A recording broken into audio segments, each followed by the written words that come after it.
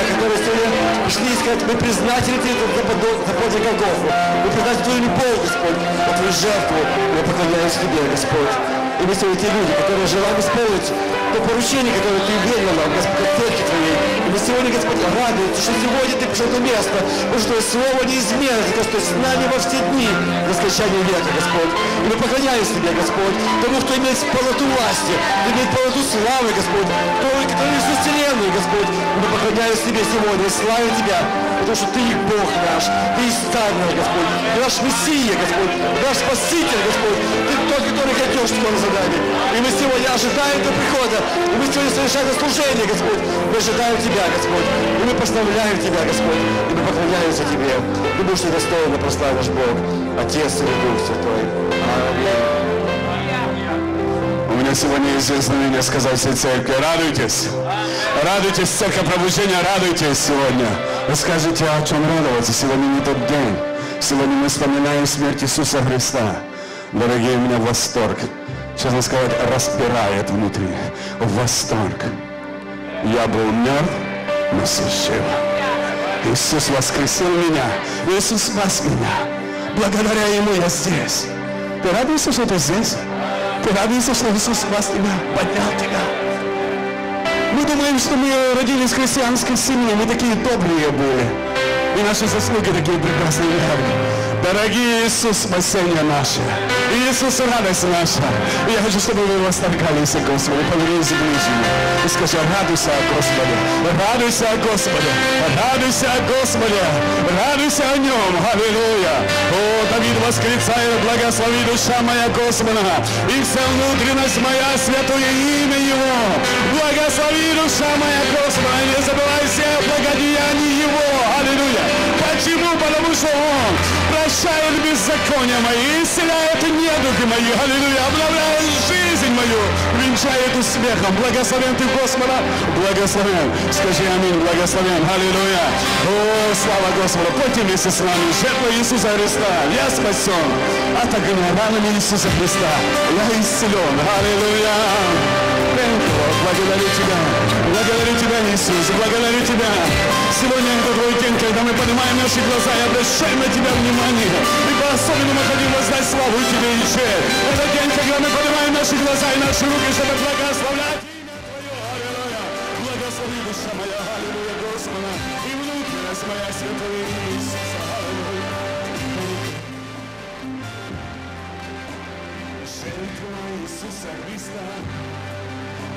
спасен от огня. Ранами Иисуса Христа я исцелен, нет сомнения. Кровью Иисуса Христа я омыт от греха. Через кровь Иисуса Христа мне дана жизнь вечная. Жертва Иисуса Христа спасен от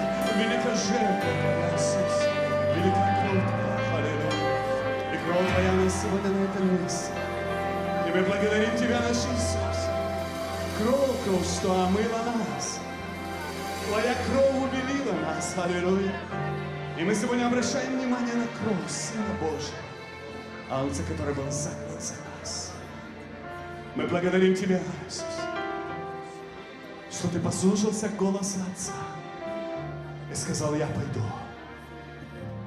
я дам свою жизнь, чтобы эти люди, они были спасены, чтобы люди имели жизнь вечную, чтобы примирить человечество с Богом, чтобы разрушить преграду, которая стояла между человеком и Богом, чтобы разрешить войти во святое святое каждому, кто омыт кровью Агнца, каждый, кто оправдался в Боге, он будет спасен.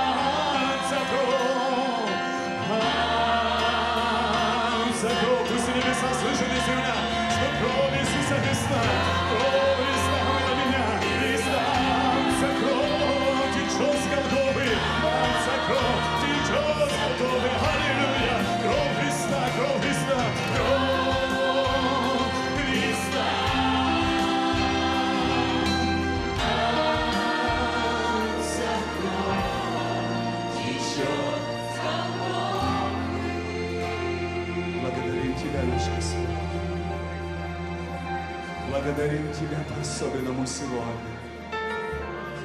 Это утро, когда мы по-особенному склоняемся перед Твоей жертвой, перед Твоей Голгофой. Нет, не чувствую на сердце. Что-то трепещет внутри нас. Когда мы вспоминаем, какой ценой мы были достигнуты. Когда я смотрю на рог, где я был, откуда ты меня извлек, невольно говорю, кто я есть человек, что ты помнишь меня, ты знаешь меня. Я благодарю тебя, Иисус. Признателен тебе, Иисус. Ты добровольно лег на крест Голгофский. Ты добровольно распростер свои Ржавые гвозди впились в твои руки. Не было слов проклятия.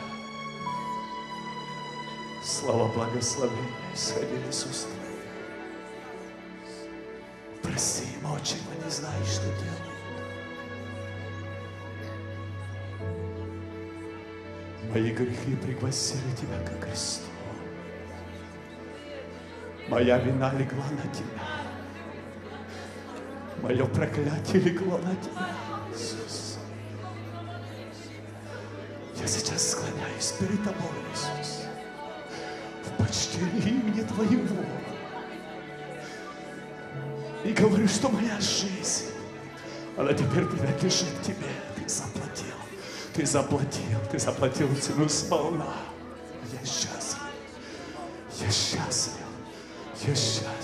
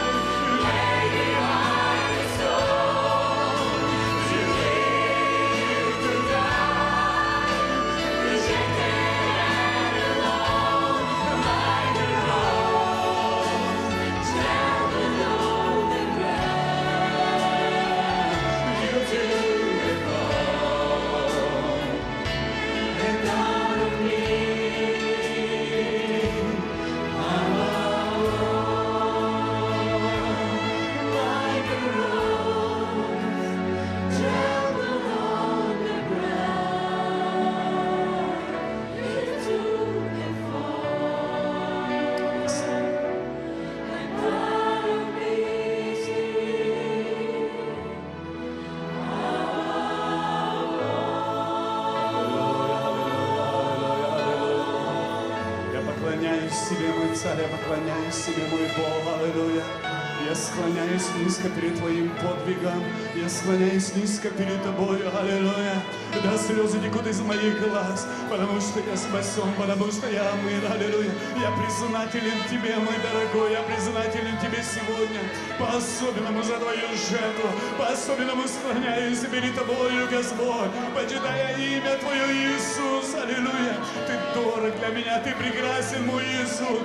Поклонюсь Тебе, я поклонюсь Тебе перед троном Твоим, я поклонюсь Тебе перед величием Твоим, могуществом Твоим, аллилуйя. Да, Ты сегодня на троне, как Царь славы, Тебе возвивают небеса, восхваляя свят, Господь, свят, свят, Вседержитель, свят Он достоин, Иисус. Мы кланяемся Тебе, Иисус. Мы поклоняемся Тебе, наш дорогой. Стоя перед Твоим троном, мы как один, как семья. Превозносим Тебя, поклоняясь Тебе. Я войду во святое святое, чтобы поклониться Тебе. Войду я в святое святых,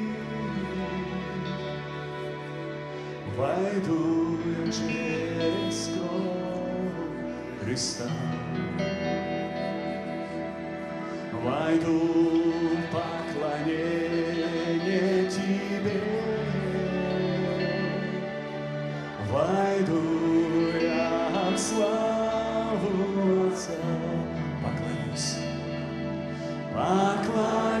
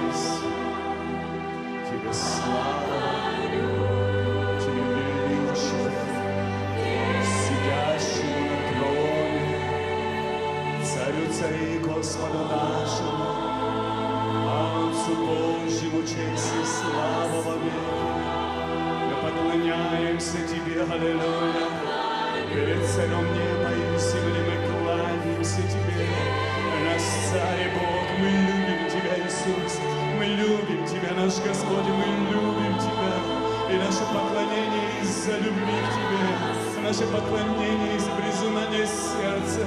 Наше поклонение из сокрушенного сердца.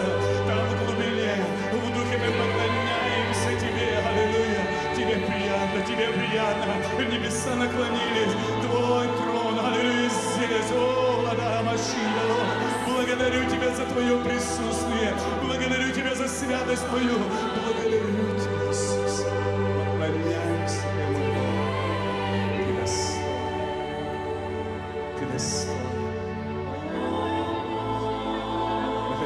Оставаться в Твоем присутствии. Мы хотим сегодня вот так поставаться, чтобы чувствовать Твою святость. Рядом возле трона стоять.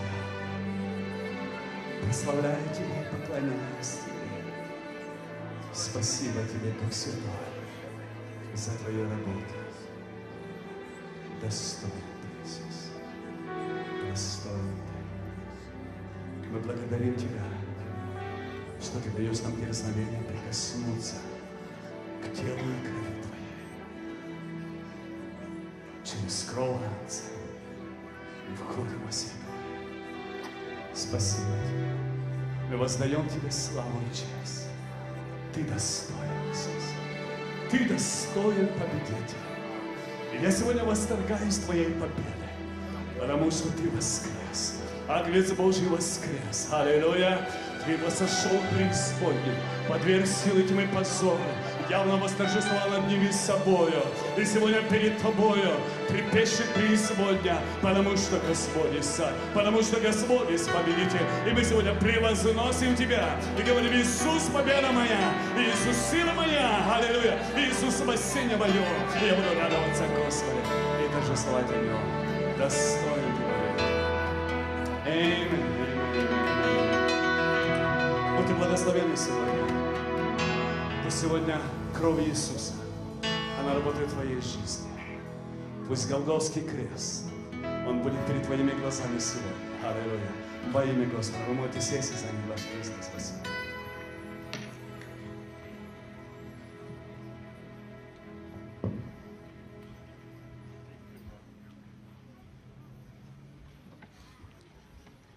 Уважаемые друзья, сегодня действительно чудесный день. И я бы сказал, это очень мягко сказано. Сегодня превосходный день, который Господь нам даровал.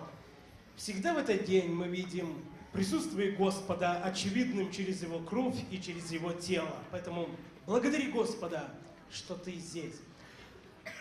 Э, Я хочу э, дать слово одному человеку, который хочет поприветствовать нашу церковь. В 92 году мы вместе учились в Московской духовной семинарии «Благодать». Это брат во Христе Александр Чичиков из э, Дзержинска, это рядом возле Минска. Александр, добро пожаловать. Пусть Господь благословит всех нас и тебя тоже. Дорогая церковь, я хочу сказать слава Богу. Я очень рад быть сегодня здесь среди вас. И э, прежде всего благодарю Бога, что могу разделить с вами этот хлеб и это вино, как символы э, тела и крови Иисуса Христа. И сидя на своем месте, когда мы поклонялись сейчас Господу, вы знаете, Бог просто говорил в мое сердце. И я открыл книгу Иова, там написаны удивительные слова. «Был день». Вы знаете, почему я здесь? Потому что был день. День, когда Господь коснулся моего сердца. Был день, когда в жизни Иова были, может быть, страдания, трудности. И я знаю, оглядываясь назад, был день, когда дьявол клеветал на нас и говорил, это мой служитель, это он будет служить мне до конца. Но я благодарю Господа, что был день, и кровь Иисуса Христа, она разрушила всякую власть греха, слава Богу. Кровь Иисуса, она разбила всякие козни дьявола, слава Богу. Потому что был день.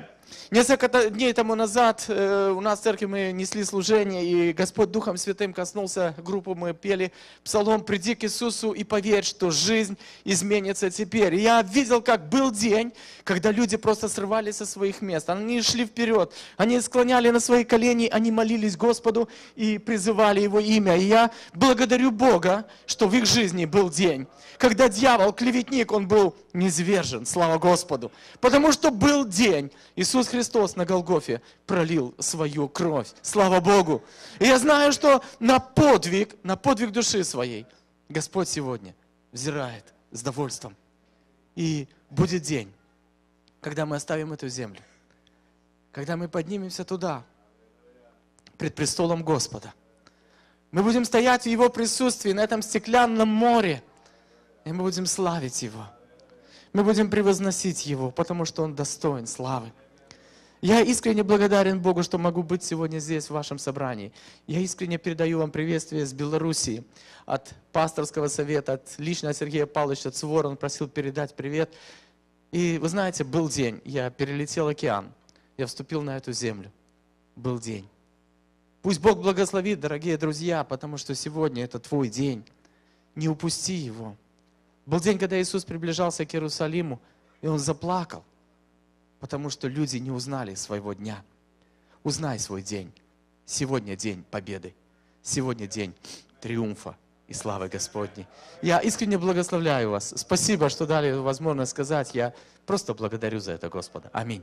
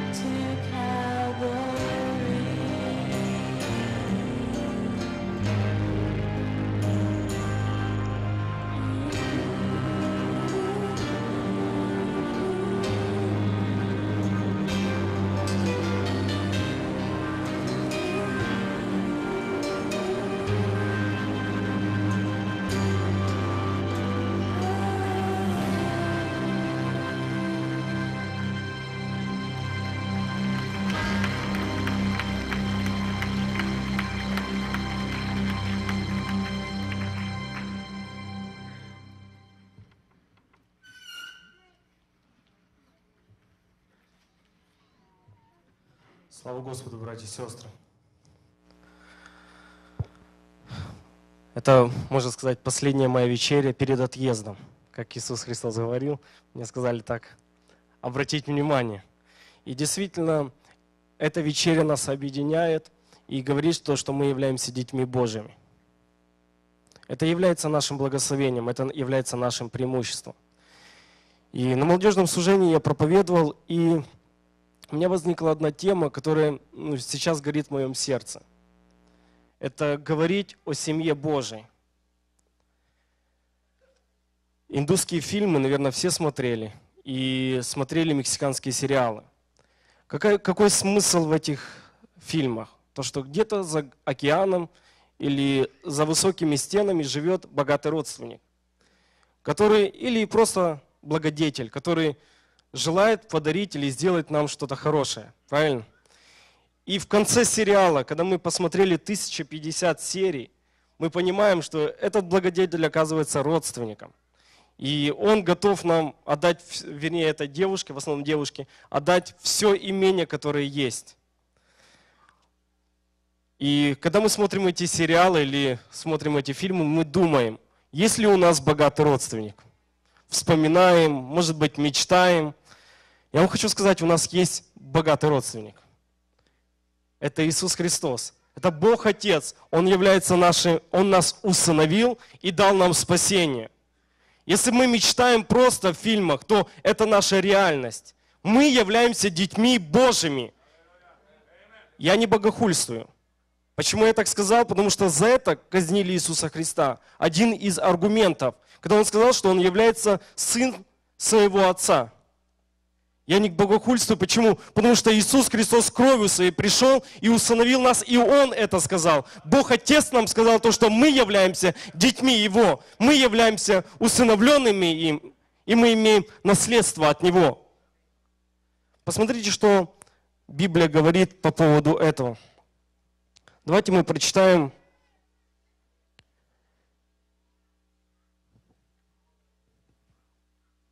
Ефесяна, первую главу, с 3 стиха. Благословен Бог и Отец Господа нашего Иисуса Христа, благословивший нас во Христе всяким духовным благословением в небесах, так что Он избрал нас в Нем прежде создания мира, чтобы мы были святыми, непорочными пред Ним в любви. Предопределил, усыновил нас себе через Иисуса Христа по благоволению воли Своей, по хвалу славы благодати Своей. И потом говорится в седьмом стихе, в котором мы имеем искупление кровью Его, прощение грехов по богатству благодати Его. 11 стихе. В нем мы и сделались наследниками, быв предназначены к тому по определению совершившего все по изволению воли своей, чтобы послужить похвале славы Его нам, которые ранее уповали на Христа. Аллилуйя! Библия говорит то, что мы являем, и мы усыновлены Господом Иисусом Христом. Если мы будем говорить о усыновлении, то закон, он гласит и говорит, что усыновление или удочерение является приоритетной формой устройства детей, оставшихся без попечения родителей. И второй пункт гласит, а также с учетом возможного обеспечения детям полноценное физическое, психологическое, духовное и нравственное развитие. Это говорит закон по поводу усыновления. И Бог, Он пришел на эту землю, и Он решил нас благословить. Он решил нас обеспечить. Закон гласит, что мы, мы, мы, нуждаемся в этом обеспечении. Библия говорит, что Бог Отец, Он является Отцом нашим. Но также говорится о другом Отце, которому мы принадлежали. И Библия говорит в Ри- в Римлянам, что мы являлись детьми гнева. Библия говорит, что мы являлись детьми гнева. И отец лжи, он был нашим отцом. И одно из условий, почему усыновле- нужно усыновление, это не, не должное попечение о детях. И отец лжи, он не беспокоился о нас. Мы не жили комфортно, мы не имели э, все блага, которые мог- может иметь ребенок. Когда мы приходим в интернат и видим детей, которые э, лишены отцовской, материнской любви, у нас сердце сжимается. Наверное, из-за этого и люди решают и усыновить ребенка. Они смотрят, выбирают, смотрят глаза голубые или карие. Они интересуются этим ребенком. И рез- и результат ихнего любви и милости к этому ребенку, они усыновляют его. Этот ребенок имеет право. На что этот ребенок имеет право? Он имеет право носить фамилию этого отца. Он имеет право пользоваться состоянием или им быть наследником состояния своего отца, приемного отца. До этого он ничего не имел. Но после усыновления, у- у- усыновления он это имеет. Он имеет это благословение. И земной отец, он как выбирает ребенка, который, э, которого хочет он принять? Он выбирает его, как он себя ведет. Агрессивно ведет он себя или он добрый ребенок? Он разумный ребенок или он отсталый ребенок? Выбирает по глазам, по интеллекту, проверяет, кто у него были родственники, э, кто его были родители. Есть ли алкогольная зависимость у этих родителей, правда? Отец наш Небесный не выбирает нас так, слава Господу. Может быть, из нас нету достойного, который может сказать, у меня отличное происхождение, я просто совершенство, мое происхождение самое лучшее. Бог нас так не выбирает. Когда Бог пришел в этот интернат, в эту, на эту землю, Он выбрал нас по-другому. Тот, кто протянул свои руки, того Он усыновил. Тот человек, который протянул руки. И сегодня, если ты нуждаешься в Божьем усыновлении, протяни руки к Богу. Бог, Он желает тебя усыновить. Он желает тебе дать все блага свои, которые Он имеет. Он желает этого. Недавно в новостях я услышал одну новость. Мне она поразила. Нашли одного ребенка, которому было четыре с половиной, может быть, пять лет. И этот ребенок, он не умел разговаривать. Он на четвереньках передвигался, как собака. И когда его взяли в интернат, он прыгал с кровати на кровати, вот как собака прыгает, барьер берет. Э, Просто врачи, они шокированы, что это в прямом смысле слова Маугли, который мы читали в детстве. И они были шокированы, они начали изучать, почему и как. Потому что мама, она пила, она не обращала внимания на своего ребенка и давала миску для собак и для него одну миску. И он кушал вместе с этими животными. И реально его родители были кто?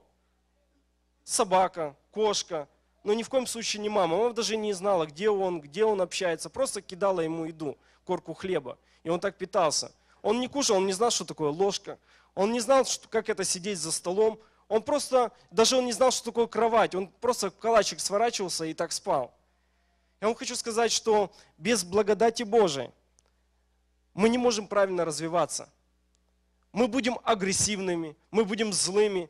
И люди удивляются, почему этот человек убивает, почему он этого желает, почему он желает наркотик. Почему? Потому что нет должного воспитания. Нет у него отца, который беспокоится о нем, который смотрит за ним.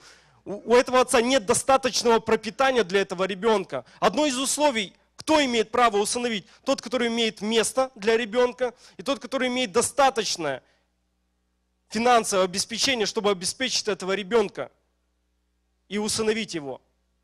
Бог нас имеет все. И Он нас усыновил и дал нам все. Тот бывший наш отец, и когда мы были детьми гнева, Он не мог дать нам всего того, что мы хотели. Это радость, мир. Он мог только дать нам гнев, раздражение, зло и больше ничего. И так и мы росли, как дички. Росли и думали, что это самый лучший мир. Но когда пришел Бог Отец, Он изменил нас. Он изменил и спас нас. И одно условие, как мы можем прийти в семью Божию, это через кровь Иисуса Христа. Через кровь Иисуса Христа. И сегодня мы вспоминаем через Иисуса Христа. Должен быть посредник по закону. Должен быть посредник, который будет устраивать договор. И этот посре- этим посредником выдвинулся Иисус Христос. Он пришел на эту землю. Он все устроил, он подписал все законы. Осталось нам только протянуть свои руки к Господу. Протянуть руки к Богу. И Бог, Он желает благословить нас. Бог наш всемогущий, которому мы можем поклоняться. Библия говорит, чтобы жить как усыновленные, нужно иметь, надо влиться в семью и оставить прош- прошлую жизнь. Это очень важно, оставить прошлую жизнь.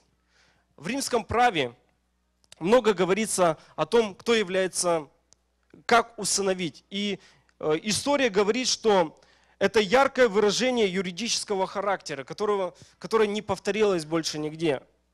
И какое, какое одно из значений, что основным считается не кров- э, кровавый союз или кровяной союз, который является через плоть, а который является э, в, в отношении домовладельца. Вот это является союз основным. И если отец усыновлял кого-то, то он считался намного сильнее этот союз, чем кровный союз. Это интересно. И э, самое что еще интересно, э, что в римском праве происходило так, что э, были домостроители или домовладельцы, которые являлись основным юридическим лицом. И когда человек э, переходил от одного отца к другому отцу, тогда он переходил к домовладельцу э, другого, с одного домовладельца к другому домовладельцу. И что это означало? Это означало, что он полностью изменял свое имя, фамилию, происхождение, и он разрывал все отношения с предыдущей семьей. Ничего общего не было с предыдущей семьей. И это было право, это было его право. И он пользовался этим правом как наследник. Не стесняясь этого, он заявлял, если он куда-то приходил, я такой-то, такой-то. И он этого не смущался. Почему? Потому что он является законным сыном. Так римское право говорило. И когда Павел, он писал и говорил о усыновлении, он имел в виду то право, в котором он жил. Это, и усыновить могли люди, те, которые имели э, ри- римское происхождение, или э, которые имели право по закону усыновить. Свободные люди, рабы не могли усыновить. Свободный человек только мог усыновить. Бог наш, Он усыновил, на, усыновил нас. И теперь разрывается всякое право греха в нашей жизни, если только мы этого не захотим. Да, есть наследственность, она могла проявляться у этого человека. Может быть, в чем-то, может быть, в разговоре, но этот человек больше не, продолжал, не принадлежал своей семье. Он принадлежал тому, кто его усыновил. И сегодня, братья и сестры, мы принадлежим нашему Богу. Тот, который усыновил нас, спас нас, очистил нас. Мы освящены им. У на- Нам дано новое имя. Новое имя. И тот человек, который нам говорит, а ты был вот таким-то, мне сегодня Бог дал новое имя. Бог дал мне новое имя. Я живу в Боге, я Его сын, я поклоняюсь Ему. И Библия говорит, то, что в Римлянам, 8 главе говорит, что усыновленный человек, Дух в нем взывает Ава Отчи. Отец мой, папочка мой, Отец Небесный. Так Библия говорит, что Бог даже об этом подумал. То, что если Он усыновит, все равно что-то останется от греха. Но Бог этого не хотел. Бог изменил, и Он вселил в сердце наше Духа Святого, что мы стали родными Ему даже изнутри. Не просто из внешне титул нам поменял, но изнутри мы измененные. Бог изменил и дал нам спасение и прощение грехов. Теперь я свободный человек. Свободный не внешне, а свободный и внутри. Бог дал мне эту свободу и благословил меня. И теперь я могу жить в Боге и прославлять Его, поклоняться Ему, как достойный сын Его. Как достойный сын Его. Почему я об этом проповедую? Потому что мы не до конца осознаем власть, которую Господь дал нам. Бог дал нам большую власть, но уже на земле. Для того, чтобы быть усыновленным, мы должны пользоваться всеми правами, которые Отец дал нам. Если мы не пользуемся всеми правами, Если дьявол пришел и начал искушать нас, если мы не используем то правое, и мы не можем сказать, я уже не твой сын, я сын Бога Отца, тогда зачем мне этот титул? Зачем мне этот титул? Самое важное, еще одно из важных моментов усыновления, мы пол- пользуемся своим наследством. Мы пользуемся тем, что Бог дал нам. И смотрите, что в Матфея написано. Матфея 6 глава 6 стиха. Ты же, когда молишься, войди в комнату твою и затвори дверь твою, помолись Отцу твоему, который в тайне. Отец твой, видящий тайны, воздаст тебе явно. А молясь, не говори лишнего, как язычники, ибо они думают, что в многословии своем будут услышаны. Не, уподобля- не уподобляйся им, ибо знает Отец вас, в чем вы имеете нужду, прежде вашего прошения у Него. Молитесь же так, Отче наш, сущий на небесах. Библия призывает и говорит нам, чтобы мы молились Богу, мы взывали Ему и обращались Ему Отец Небесный. И молились не на показ, не молились не так, чтобы просто люди видели и говорили, действительно, это любимый сын. А как Библия говорит, чтобы мы молились? Молились, чтобы закрыли дверь в комнату и просто попросили, как наследники, попросили у Бога, как наследники. Сказали, Господи, помоги нам, благослови. У меня сегодня трудная ситуация. Господи, дьявол атакует, мне тяжело. Господи, помоги. Господи, я нуждаюсь в исцелении. Господи, помоги. Я являюсь Твоим наследником. Я хочу использовать Твое наследство в своей жизни. Я хочу сейчас его использовать. Господи, помоги. И Библия говорит, что Отец, который видит тайное, Он воздаст явно. И дальше говорится, не молитесь, как язычники. Я много размышлял, как это не молиться, как язычники. Говорится о долготе молитвы. Как не молиться язычники? И меня открылось одно из места из Священного Писания, которое показало мне, как язычники молятся, а как молятся наследники. Давайте мы прочитаем Третье царство, 27 стиха. Сейчас я читаю, как язычники молятся. В полдень Илья стал смеяться над ними, говорил, кричите громч- громким голосом, ибо он Бог. Может быть, он задумался или занят чем-либо, или в дороге, а может быть и спит, как он, э, так он проснется. И стали они кричать громким голосом и кололи себя по своему обыкновению ножами, копьями, так что кровь лилась по ним.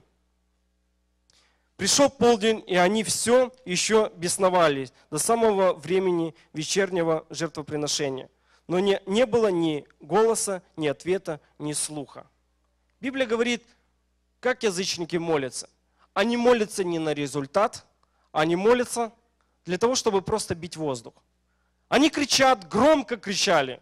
Они делали определенный обряд, они даже над собой издевались, они кололи себя. Представляете, 800 человек, 850, они кололи себя для того, чтобы э, показать, чтобы Бог их не обратил внимание. Но так как у них нету должного попечения, так как они нуждаются в усыновлении, их их отец не слышит. Они растут как бурьян. Они кололи себя, что даже смеяться начали Илья и говорить, ну давайте, громко кричите. Может он спит, может он задумался, кричите. Иногда мы уподобляемся этим язычникам. Мы кричим, мы делаем определенные обряды, мы скачем на одной ноге для того, чтобы Бог нас услышал. Но Бог не хочет этого. Бог хочет, чтобы мы пришли к Нему с верой, обратились как наследники. Сказали, Господи, помоги. И Бог ответил. Библия призывает, чтобы мы молились на результат, чтобы мы служили Богу на результат, чтобы мы поклонялись Ему для того, чтобы видеть лица Его, чтобы мы могли видеть Его в своей жизни, чтобы мы так служили Ему. А если мы молимся и ничего не происходит, тогда мы должны задуматься. Тогда мы должны попросить, Господи, дай этот дух усыновления в мое сердце. Господи, дай, чтобы мой дух взывал Ава Отче, чтобы Ты, который превыше всего, стал моим личным Богом. Не просто Богом, а моим папочкой. Господи, помоги, чтобы Ты, который сотворил вселенную, чтобы ты был моим личным отцом. Господи, помоги и благослови меня. И посмотрите, как молится наследник. Во время приношения вечерней жертвы подошел Илья пророк и сказал, Господи, Боже Авраама, Исаака, Израиля, да познает в этот день, что Ты один Бог в Израиле, и что я раб Твой, и сделал все по слову Твоему. Услышь меня, Господи, услышь меня. Да познает народ это, что Ты Господь Бог, и Ты обратил, обратишь сердца их к Тебе. И не спал огонь Господень, и пожал все сожжения, и дрова, и камень, и прах, и поглотил воду, которую во рву. И увидев это, весь народ пал на лицо свое и сказал, Господь есть Бог, Господь есть Бог. Вот как молится наследник. Он думал, я думаю, что Илья думал, что только жер- жертва загорится, она будет принесена Богу.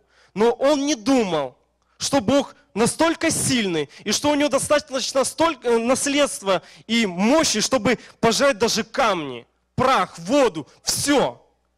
Он думал, он помолится, может быть, загорится маленький огонек, но он не предполагал. Я думаю, что он не предполагал, что камни сгорят, прах будет гореть, огонь, э, вода сгорит. Он не думал. Потому что наш Господь, Он может дать нам, нам намного больше.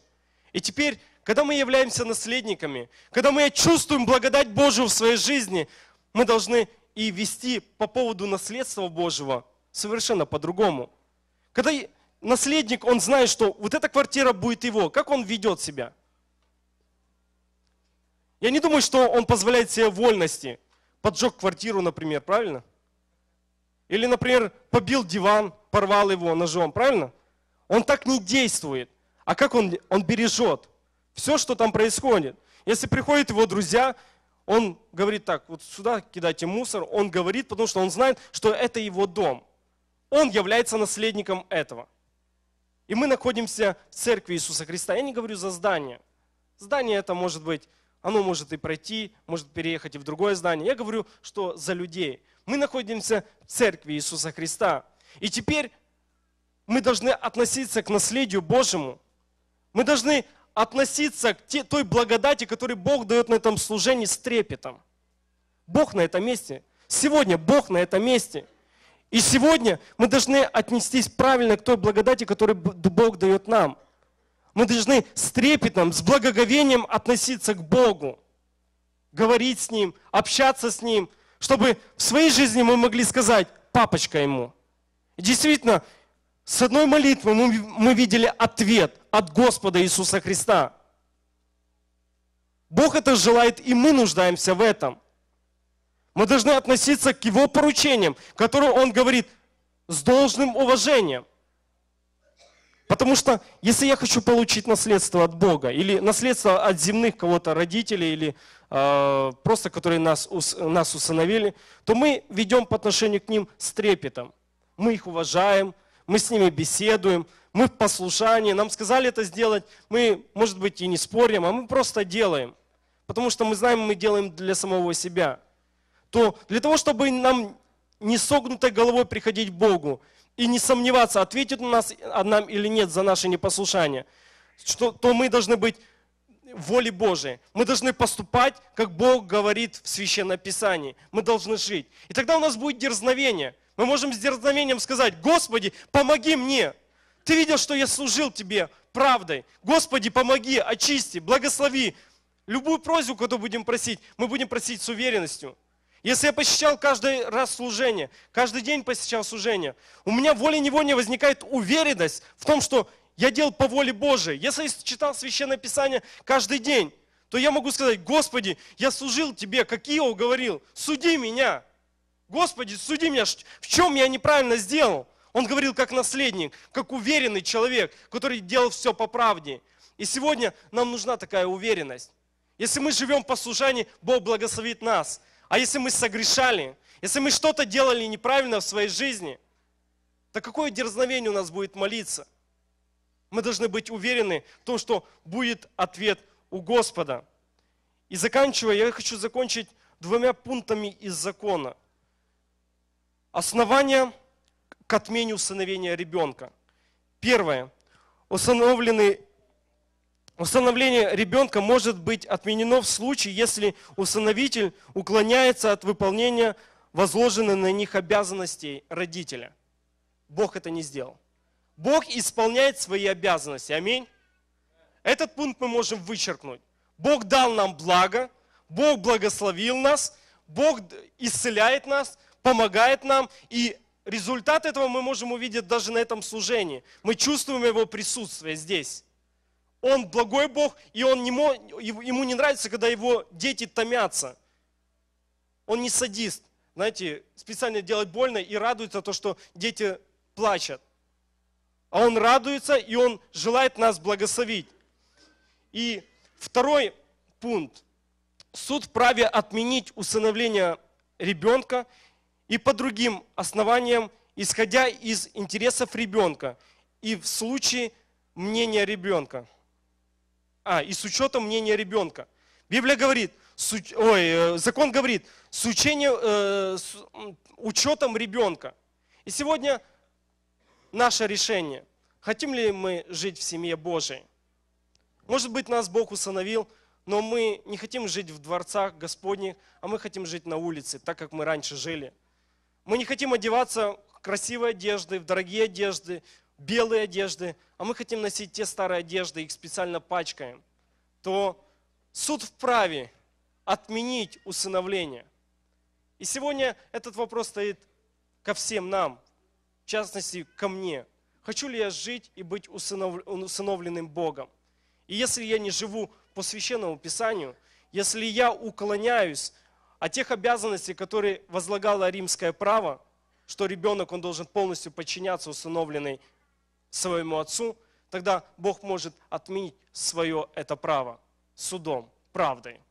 И пусть Господь нас благословит. Я хочу, чтобы мы встали, помолились и попросили Бога, попросили Бога, чтобы Он проявил милость к нам и свое усыновление, чтобы мы почувствовали Его усыновление, дух усыновления внутри нас, эту уверенность. И чтобы мы могли сегодня сказать с уверенностью, Ава Очи, Господи, Боже нас. Чтобы мы с уверенностью могли сказать, как Илья, Господи, Бог мой, ответь мне. И Бог ответит. Аллилуйя, Господь.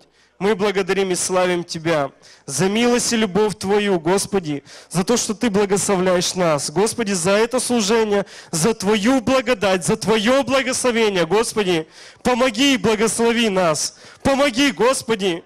Прости, если где-то сделали неправильно, Господи. Ты установил нас. Ты дал нам все, Господи. Есть посредник, который пролил кровь за нас, подписал этот закон.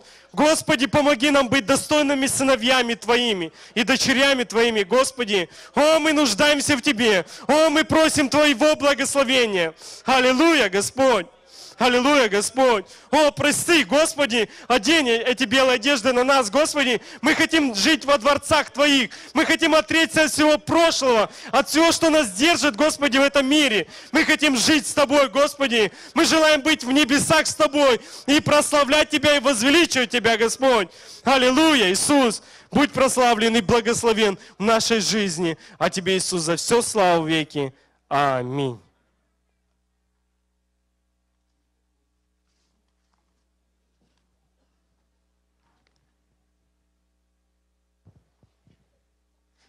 Спасибо, Денис, за хорошее слово.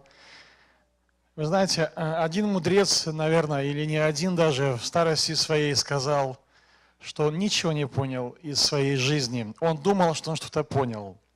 Вы знаете, слушая проповедь, я задумался тоже, что порой мы настолько увлекаемся собой, я певец, и порой тоже так увлекаюсь собой, что порой забываю, что я хочу показать себя или Бога.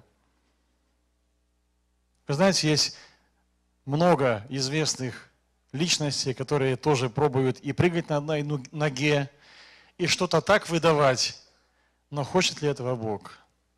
И вы знаете, сегодня, когда я прожил 44 года, я начинаю понимать, что, наверное, я мало понял. Я хочу начинать по-новому понимать. Я хочу понять, что хочет Бог. Как Бог хочет сегодня, чтобы мы славили Его. Как Он хочет, чтобы мы величали Его, чтобы мы поклонялись Ему. Я хочу спеть песню, это новая песня, именно подтверждением темы, которую так хорошо сказал Денис.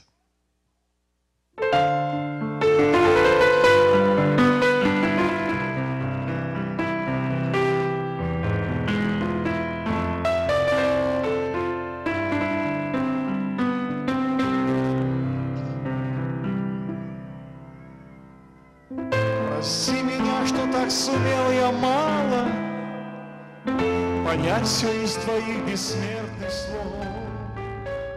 Что очень часто суета сжигала И не давал росток святых плодов. Прости, что вечные страницы Я торопился в праздности листать что не сумел я разглядеть зорницы, Не понял я, что начало светать.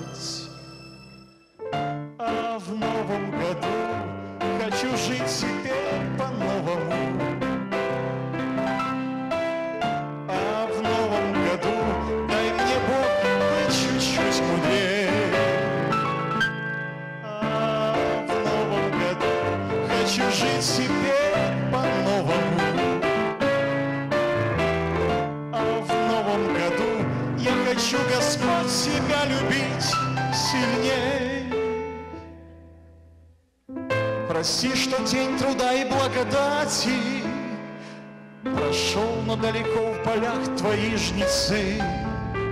Сноп за снопом встает, и не догнать мне их. Я пропускаю лучшие часы.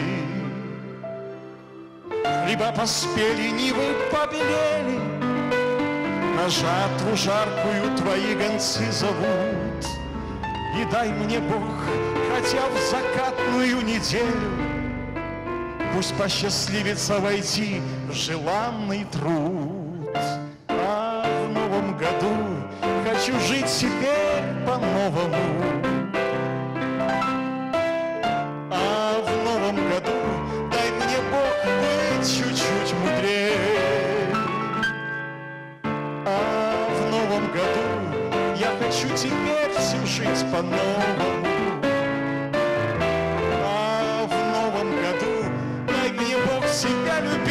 Еще сильнее.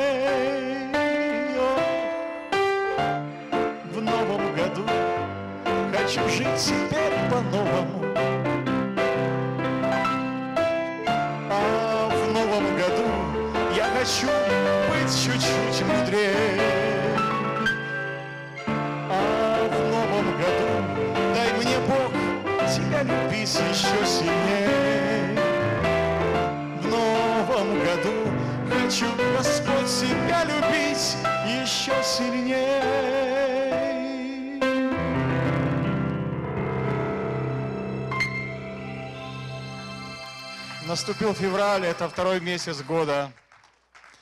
Мне исполнилось 44 года. Я отмечаю еще одну годовщину. Слава Богу. Я прошу, чтобы вы меня благословили в заключительной молитве. И эта песня я пою о себе.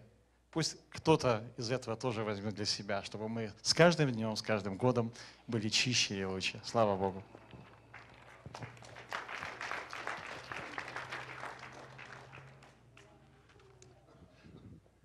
Спасибо за пожелание.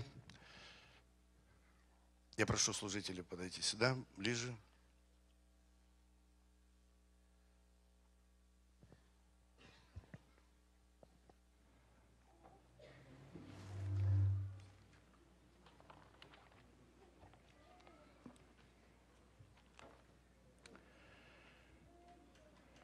Да испытывает же себя человек, и таким образом пусть ест от хлеба сего и пьет из чаши сей. Ибо кто ест и пьет недостойно, тот ест и пьет осуждение себе, не рассуждая о теле Господнем. Оттого многие из вас немощные, больные, немало умирают. Ибо если бы мы судили сами себя, то не были бы судимы. Будучи же судимы, наказываемся от Господа, чтобы не быть осужденными с миром. Так рекомендует нам апостол Павел, он пишет. Здесь мне написали, что во время молитвы было откровение от Господа, Дух Святой показал, что в этом зале есть люди, которые ходят, двигаются как живые, но внутри они давно мертвые.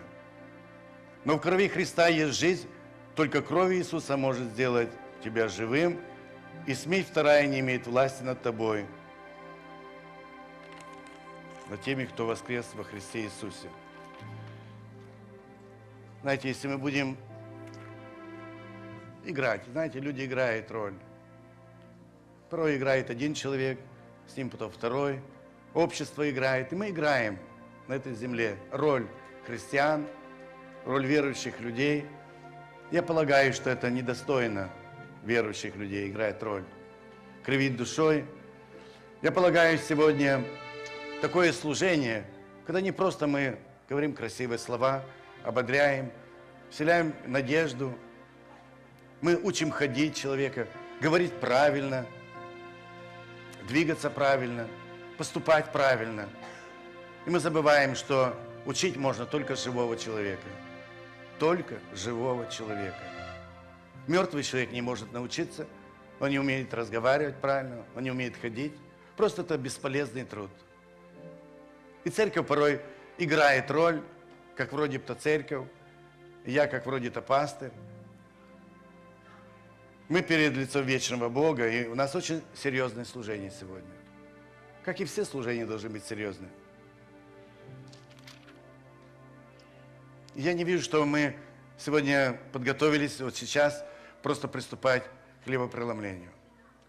Я хочу призвать еще к одной молитве, уважаемые. Чтобы была победа внутри себя. Чтобы подходить с дерзновением к престолу благодати. Послание к Колоссянам апостол Павел пишет в первой главе, чтобы поступали достойно Бога. Чтобы поступали достойно Бога, избавившего нас от власти тьмы и введшего в царство возлюбленного Сына Своего, в котором мы имеем искупление кровью Его и прощение грехов, который есть образ Бога невидимого, рожденный прежде всякой твари – Ибо им создано все, что на небесах и что на земле, видимое и невидимое, престолы ли господство ли, начальство ли, власти ли, все им и для него создано. И он есть прежде всего и им стоит. И он есть глава тела церкви. Он начаток, первенец из мертвых, дабы иметь ему во всем первенство. Ибо благоугодно было Отцу, чтобы в нем обитала всякая полнота. И чтобы посредством Его примирить с собою все, умиротворив через Него кровью креста Его, и земное, и небесное.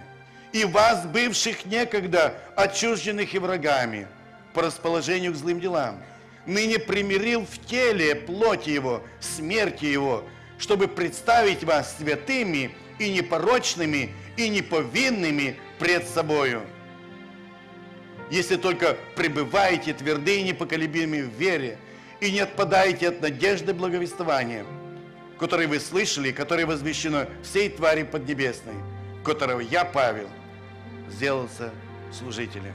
Правда, серьезные слова. Если, если, ой, если, если только мы есть те, кем мы себя называем или желаем видеть.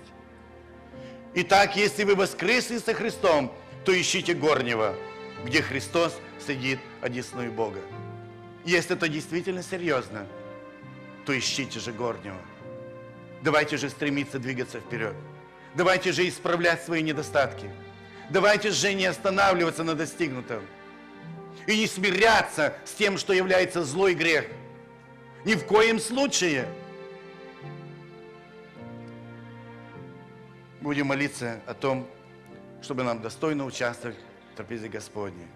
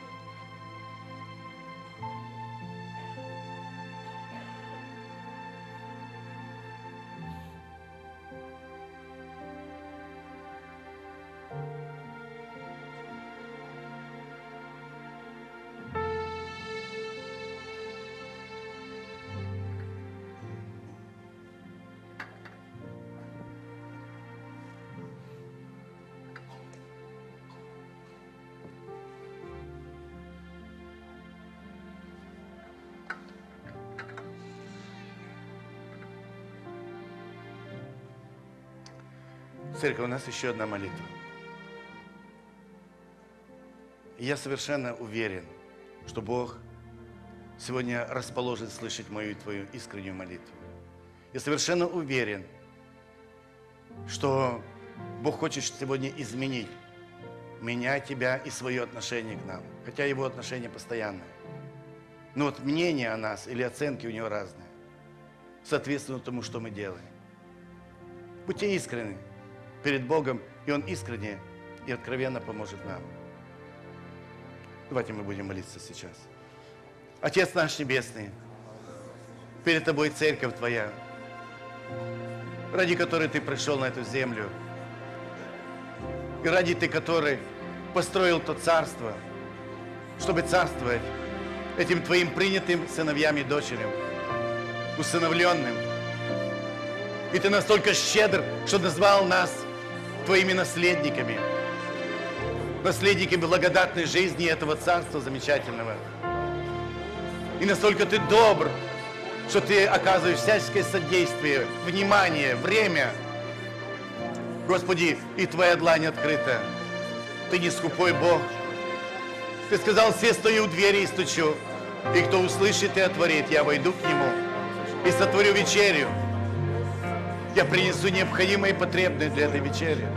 Я благодарю Тебя, Господи, что Ты не скупитель Твоих сыновей и дочерей.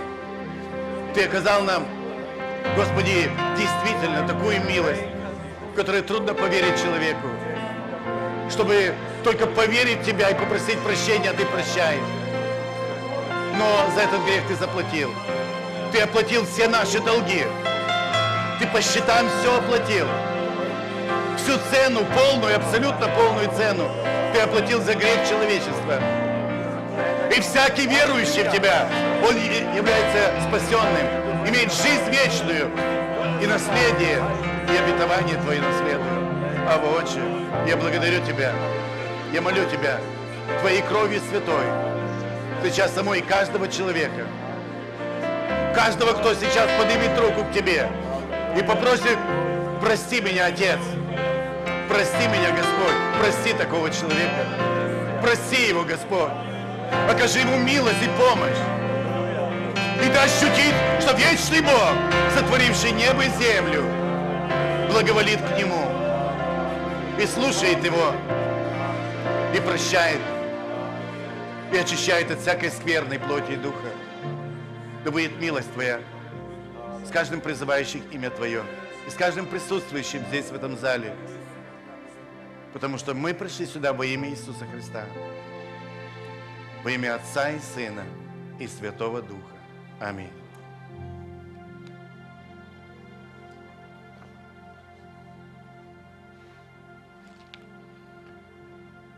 Ибо я от самого Господа принял то, что и вам передал, что Господь Иисус ту ночь, в которой предан был, взял хлеб и, возблагодарив, преломил и сказал, «Примите, едите, сие есть тело мое за вас ломимое, сие творите мое воспоминание». Благословен Бог и Отец наш, благословивший нас всяким небесным благословением свыше, облагодетельствовавший нас, помиловавший нас, оказавший нам свою отеческую заботу и ласку. Благословен Ты. Благословляем Тебя и принимаем Твой божественный царский подарок с благоговением и трепетом. Это не есть просто обряд для нас, это жизнь. И Ты сам засвидетельствовал, что кто не будет есть от тела Твоего и пить от крови, он не будет иметь жизни в себе.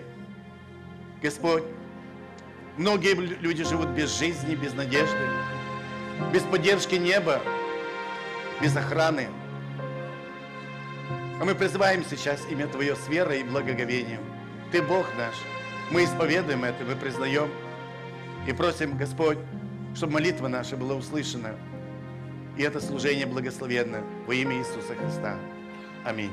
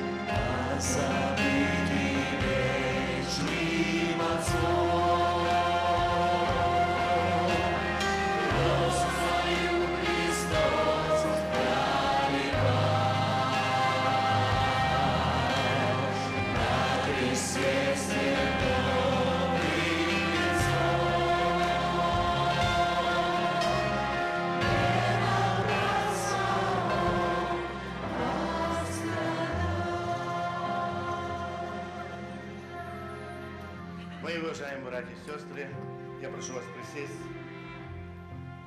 Я объявляю дальнейший порядок нашего служения. Служитель церкви подойдет к вашему ряду, и те, кто имеет право участвовать в трапезе Господней, они привстанут. Они возьмут из вазы кусочек хлеба и с благовением примут, не забывая, что ни одна крошка не должна пасть на землю. Это для нас святыня. Это освящено молитвой, и она является святыней для церкви Иисуса Христа. Совершив краткую молитву, вы можете занять свое место. И участвовать в трапезе Господь имеет право тот, кто является членом церкви, местной, по местной церкви или гости, те, которые в мире с Богом, которые заключили с Богом завет через веру, глубокое покаяние в зрелом возрасте. Да благословит вас Господь.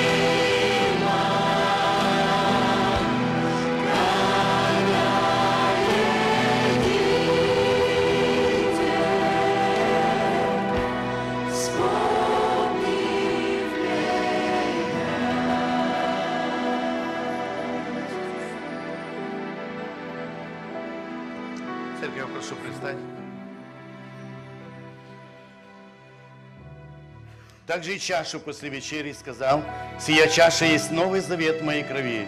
Сие творите, когда только будете пить мое воспоминание». Мы это совершаем только тогда, когда пьем воспоминания нашего Господа. На причастии, в церкви, из рук священнослужителей. Не просто дома, сколько хочет, по любому поводу призвав имя Божие. Я и таких беззаконников вижу. Мало того, что грешат, еще имя Божие вспоминают. Мы это делаем, когда совершаем служение Господу, воспоминание Его голговских страданий. Благословен Бог и Отец, благословивший нас всяким небесным благословением свыше, даровавший нам для омытия грехов, для прощения грехов, святую кровь, как царственный подарок, как единственное возможное средство для очищения от всякой скверны. Молю Тебя, чтобы мы с благоговением и для пользы принимали участие в этом служении, вспоминая, какой ценой мы искуплены от суетной жизни, и ожидая Тебя, грядущего на облаке.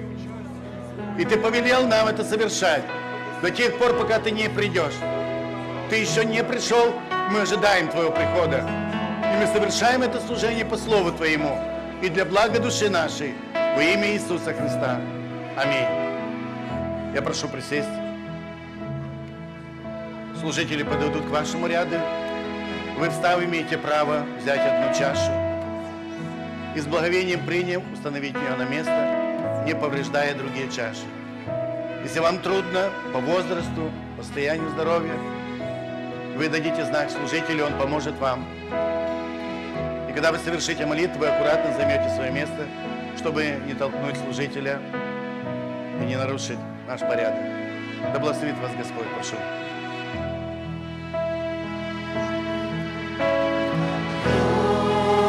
Христа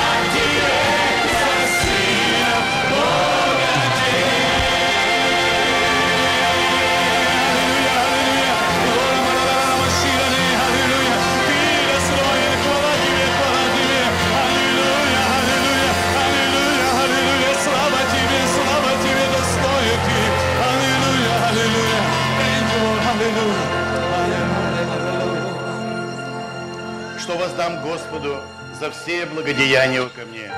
Чашу спасения приму, имя Господне призову. Обеты мои воздам Господу пред всем народом Его. О Господи, я раб Твой, я раб Твой, сын рабы Твоей, Ты разрешил узы мои. Тебе принесу жертву хвалы и имя Господне призову. Во дворах дома Господня, посреди Тебя, Иерусалим. Аллилуйя. Мы весьма благодарны Тебе, Господь, за ту великую милость к нам. Совершенно даром, бесплатно. Ты предложил чашу спасения, за которую Ты оплатил.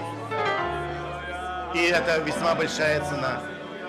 Мы благодарны Тебе и просим, Господи, продли и приумножь Твое благословение для нас, для наших семей, домов. Очисти от всякой духовной зависимости, от всяких нечистых духов избав, Господь, от их атак. Освободи, Господи, от всяких немощей, болезней во имя Иисуса Христа. Дай физическое здоровье всякому призывающему имя Твое и желающему сегодня этого на этом месте. Во имя Иисуса Христа. Аминь.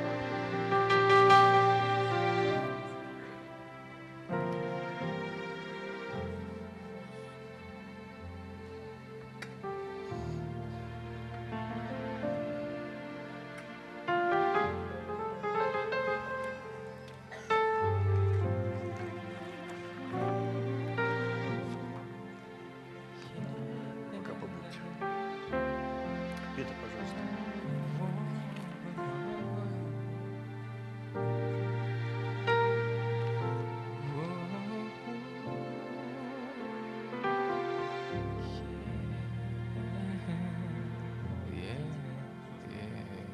У нас сейчас будет еще одно служение, и я хочу прочитать э, несколько стихов. Это написано к евреям со второй главы,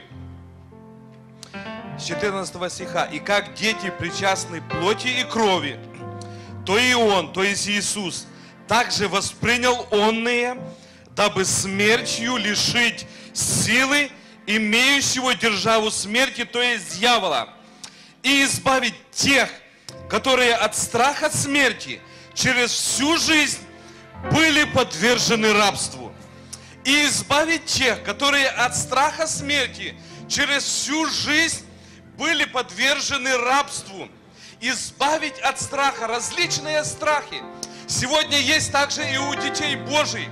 Один из страхов – это переживание, это волнение, это когда ты смотришь на свою жизнь, за свое материальное, э, за свою материальную стабильность, за, на когда мы смотрим на своих детей, и мы переживаем. Вы знаете, Давид когда-то сказал, я был молод, и состарелся, и не видел праведника оставленным, и потомков его просящими хлеба. Я просто хочу ободрить вас каждого, что Господь заботится о вас больше, чем вы сами о себе. И Он никогда вас не оставит. И пошлет вас вам все необходимое, и насущный хлеб, и благословение, и достаток. Он вас не оставит. И пускай это не будет вашим переживанием, вашей заботой, вашим даже скажу страхом, как написано в Слове Божьем. Потому что Господь, Он как Отец, о котором сегодня много говорилось, Он воистину печется о каждом из нас. И Он нас никогда не оставит. Поэтому давайте будем жертвовать и просто благословлять Господа, помнить за церковь, помнить за нужды церкви. И Господь, Он любящий, Он никогда не- нас не оставит. Я приглашаю, давайте совершим молитву и будем с верой совершать это служение. Э, Наш добрый Спаситель, мы Тебя благодарим. Мы Тебя славим. Я, Господи, безмерно благодарю Тебя за то, что я вижу Твою руку. Господи, за то, что Ты не оставляешь нас, за то, что Ты заботишься о нас, Господи, за то, что Ты посылаешь для нас все необходимое, Господи. И мы, Боже, являемся Твоими детьми, а Ты любящий Отец. Ты никогда нас не оставишь, Господи.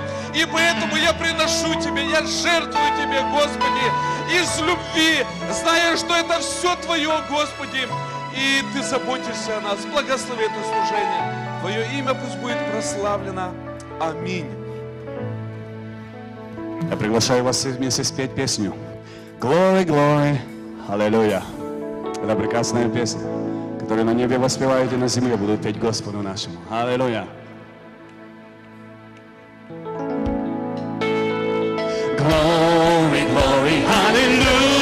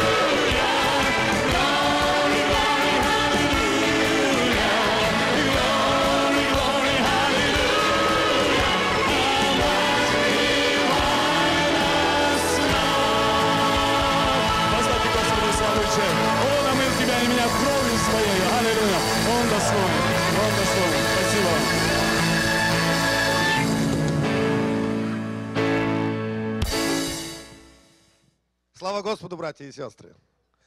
Господь сегодня обильно благословил нас. Кто получил благословение от Господа, поднимите, пожалуйста, руки. Аллилуйя. Господь благословил. Он сегодня как отец за нами детьми ухаживал здесь, на этом месте. Слава Ему за это. И мы, в свою очередь, должны прославлять Его. У нас еще есть будет одно служение, служение посева. Мы только что сеяли, это для церкви, но сейчас мы будем делать миссионерский посев. Потому что церковь, она напрямую связана с миссионерским служением. Если бы не было миссии, не было бы и церкви. Христос, Иисус, первый миссионер, который пришел на землю, и Он посеял эти живые слова, и сегодня они дают сходы. Эти ростки, которые произошли в твоем и моем сердце. Слава Господу. Поэтому, ну, такая закономерность. Справедливое изречение Христа. Один сеет, другой жнет. Мы можем сеять, а потом будем сжать. И вы знаете, мы можем посеять миссионерское служение, и где-то нас сегодня конкретно, э, ну, наш брат Денис будет уезжать, он миссионер, служит на Украине, в миссионерском служении, и мы будем благословлять его, а также брат из Белоруссии, он напомнил моего племянника Сергея Цвора. Передашь приветствие ему большое. Тоже мы будем служ- сеять. Потому что, э, когда мы это сделаем, и когда мы это делаем, тогда Господь нас обильно благословляет, то есть э, плоды появляются, у нас новые, новые члены здесь возрастают в церкви. Мы сеем туда, а здесь растут. Слава Господу. И там растут. Так Господь устроил. Господь, Он мудр в своих действованиях. Я прошу, чтобы ашеры подошли сюда. И давайте мы, дорогие братья и сестры, ну, давайте мы встанем. Я хочу, чтобы мы еще стоя выслушали нек- некоторые слова. Давайте мы сердечно, ну, со всей серьезностью отнесемся к этому служению. Наш дорогой брат Денис, он служит, он оставляет свой родной дом, который здесь у него, родители, уезжает и, и несет это служение. И служение его связано с обильными, ну, большими затратами, потому что и переезды, и передвижение, все. Поэтому давайте мы благословим его. И то, что мы э, сегодня посеем, оно даст свои сходы и там, в Одессе, и здесь в нас. Пусть Господь обильно благословит нас. Давайте мы еще совершим молитву. Господь, я благодарю Тебя и славлю за то, что Ты дал эту возможность, и мы сегодня можем сеять для Царствия Твоего.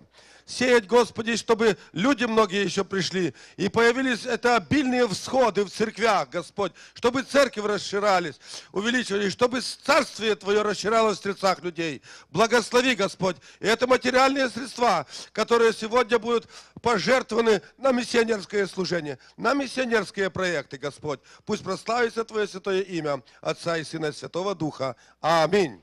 Аминь. Я прошу присесть.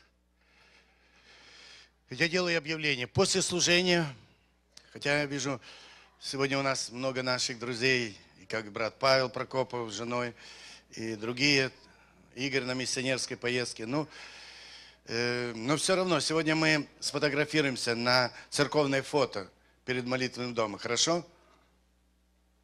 И здесь в фойе будет большая такая фотография, украшать наше фойе, ваши лица. Поэтому у вас будут сытые, довольные лица, счастливые. После служения, пожалуйста, пройдите. Я всех приглашаю, и гости наши. Вы попадете в историю нашей церкви. Пожалуйста.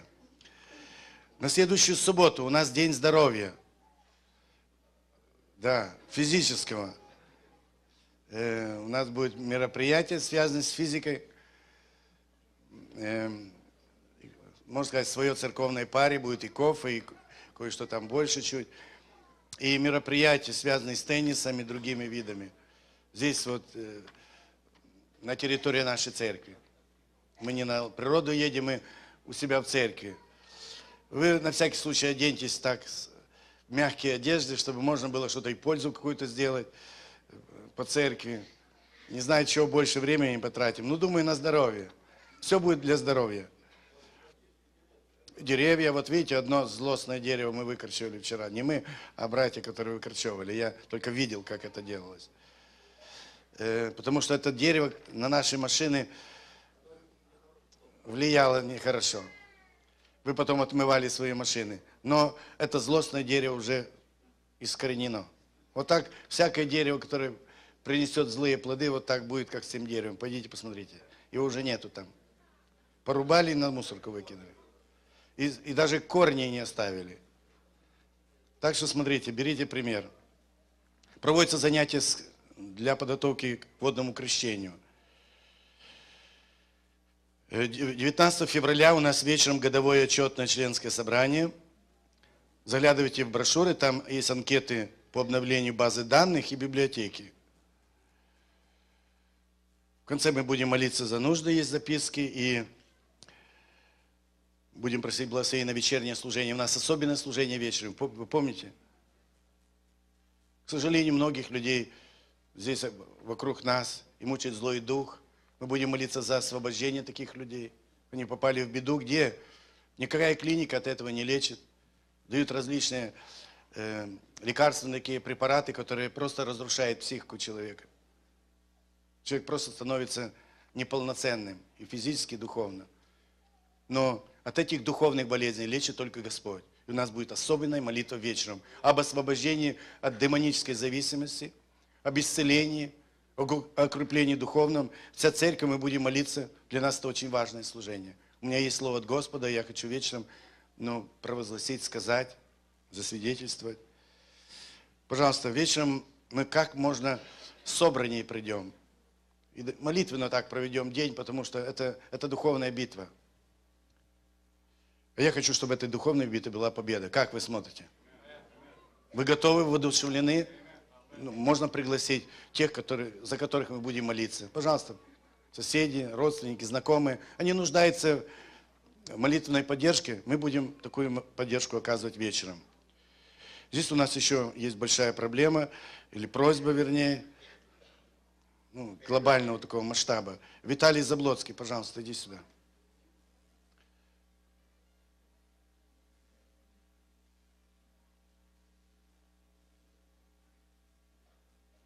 Спасибо, я цветы не люблю, ну в чем дело?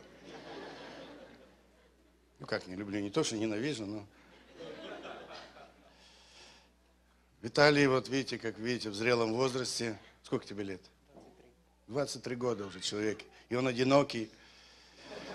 Вот, и затревожился так, знаете.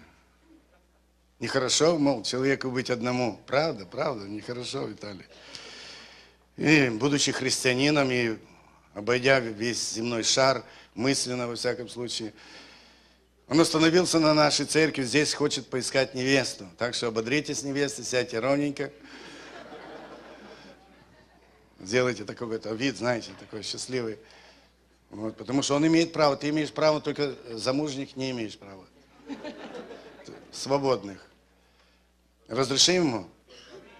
Обожди, не рвись, обожди, стой спокойно. Одну тебе сказали. Одну, понял? Иди ищи.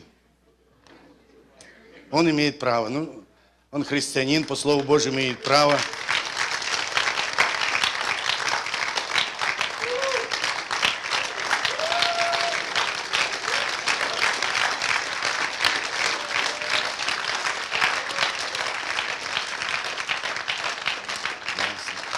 Мы вас приветствуем на этом месте. Это ты выбрал?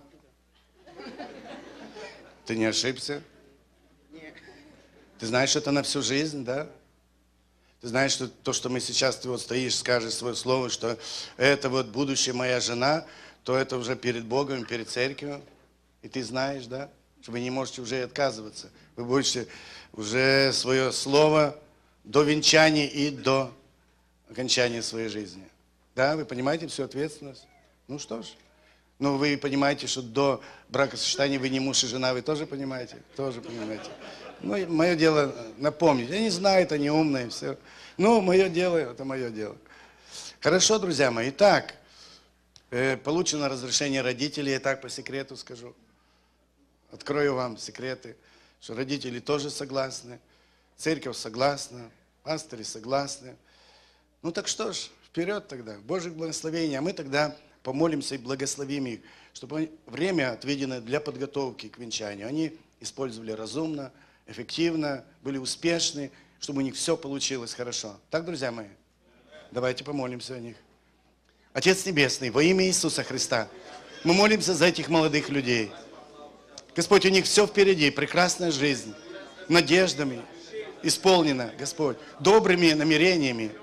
У них ожидание прекрасного, и да исполнится все доброе их намерение, Господь. И да осуществится все то, что они в своем сердце подумали, решили. Благослови их выбор, благослови, Господь, то время, отведенное им для подготовки к бракосочетанию. Пусть, Господи, отцовское Твое благословение охрана сопровождает их на всяком месте. Мы их благословляем, и э, во имя Иисуса Христа мы молимся за них. Отец, и Дух Святой. Аминь. Ну что ж, я поздравляю. Вы являетесь жених и невеста. Вы имеете право потом подойти поздравить, даже сфотографироваться. Мы приглашаем на церковное фото. Спасибо вам. Э, родителей поздравляю, вы можете подойти сейчас поздравить. Но э, еще служение пару минут. Вы постойте, вы так красивые. Вот постойте здесь. Э, именинники, пожалуйста. Э, если есть именинники, мы слышали, один уже есть. Новорожденный. Иди сюда. Ты вымахал за это время очень сильно. Скрай, ты скромный брат, я знаю. Все именинники, пожалуйста. Питер Нестерук, что, что такое? Ну да. Он хочет видеть тебя рядом, ты видишь? Так, есть вот еще у нас сегодня братский день. Хорошо. Так, сюда прошу вас. Чудесно. Дорогая церковь, помолитесь, пожалуйста, за Авенира. Ему сегодня исполнилось два года. Пусть Бог благословит его остальные дни жизни. Остальные. Вот этот Авенир. Это Авенир, так я понимаю? Ну, Божьих благословений Авениру и родителям тоже. Так, что ж, ни одной девочки у нас сегодня нет? Ну, украсьте, пожалуйста. Кто там застеснялся? Наш родственник лежит во Львове в тяжелом состоянии. Ему 22 года. Родственники и наша семья нуждаемся в его исцелении. Мы будем сейчас, сейчас молиться и вечером будем молиться. А также помолимся за пастора из Швеции. Замечательный, у него тяжелое заболевание. Дорогие, я хочу напомнить, мы прошлое воскресенье объявляли о том, что мы делаем сбор финансовое пожертвование на аппаратуру, на музыкальный инструмент. Это не значит, что мы должны пожертвовать определенно большую сумму. 10 долларов у вас есть? Благословите 10, 20, 50, 100, 200. Помогите музыкантам, и вы будете благословенны. Хорошо? Мы будем вас радовать музыкой. Будьте благословенны. У меня объявление для молодежи. Все, кто был в пятницу, нам Денис хорошую проповедь говорил, и много из нас пожелали, что мы будем действовать для Бога, мы не будем стоять на месте. То я хочу напомнить, что у нас в четверг будет ам, а, драма клуб, и мы будем начинать а, действовать а, в этом служении, и не только на молодежных, но и в воскресенье утром. То молодежи, пожалуйста, приглашаю всех, кто хочет действовать и а, что-то делать для Бога, и вы, может, не знаете, если вы можете, приходите в четверг, и we'll figure it out. Мы вам поможем. Um, so just keep that in mind. Thank you. Хорошо, Андрюш. Э, Друзья, у нас э, работает отдел видеосъемок, вы видите здесь, уже братья приобрели аппаратуру и могут продавать видеодиски прямо, вот сегодняшнее служение вы можете уже сегодня приобретать, подходите, они там будут с той стороны. И второе, по поводу фотографий, Э, меня просил брат Сергей, чтобы мы очень дружно и все вышли и вот с этой стороны, вот прямо вот так, вот с той стороны, где написано Revival Slavic Christian Center of the Assembly of God, с той стороны мы будем делать фотографию, пожалуйста, туда подойдите. Ничего, все нормально. Там грязь, там есть асфальт с той стороны дальше. Спасибо большое. Итак, друзья, у нас заключительная молитва. Мы благословляем всех тех, еще раз этих, и, и- и этих людей, и всех друг друга благословляем. И молимся и за вечернее служение. Я лично приготовился как к серьезному сражению. Вечером будет серьезная битва. Я это чувствую, и я готов, я даже не отвлекаюсь, поверьте. И вся, все мои мысли о вечернем служении. Что-то Бог будет особенное делать. Особенная битва. У Бога нет каких-то таких проходных битв. У него серьезная битва за души человеческие. Поэтому давайте все молитвенно об этом представим пред Богом. Именем Отца и Сына и Святого Духа, да будут благословены все сегодня находящиеся здесь. Да будет им благо, и да будет услышана их глубокая, громкая или тихая, нескладная молитва. Господь, ответь, Господь, потому что Ты Бог отвечающий. И мы к Тебе молимся, и у Тебя ждем ответа. Благослови, Господи, молю Тебя, вечернее служение. Очень важное и ответственное, Господь. Потому что есть люди, которым уже никто не может помочь. Только Ты можешь помочь. И церковь вправе на руках молитвы принести этих людей перед Тобой, Господь. Благослови наших именинников. Благослови их Духом Святым, оградой охраной, Твоим отцовским попечением заботой. Окружи их, Господь. Молим Тебя за тех, которые больные, о которых просят, пишут записки, свидетельствуют. Благослови, благослови нашу молодежь. Благослови, Господи, их дальнейшую жизнь, чтобы наша молодежь принадлежала Тебе. Господь, благословляем друг друга, а имя Твое славим. Имя Отца и Сына и Святого Духа. Аминь. Благодать Господа нашего Иисуса Христа и любовь Бога Отца и общение Святого Духа со всеми нами. Аминь. Будьте благословенны, поздравляйте именинников, жениха, невесту. Друзья, еще одно объяв- объявление. Сразу же сейчас, после... Питер э, Мегидюк, пожалуйста, подойди сюда. Брат Петр Мегидюк, он э,